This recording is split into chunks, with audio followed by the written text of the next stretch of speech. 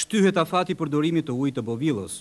Uji i Bovillës që pritet të përmirësojë furnizimin me ujë të pijshëm për kryeqytetasit, nuk ka marrë akoma dritën jeshile për t'u konsumuar.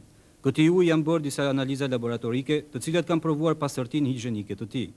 Madje për të ndihmuar epidemiologët shqiptarë në testet e tyre kontrollues, kontribuan dhe disa specialistë italianë.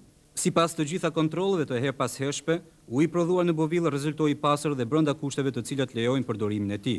Edhe afati përfundimtar, ai i fundit të nëntorit, afat kur normalisht do të fillonte konsumimi i ujit ka kaluar.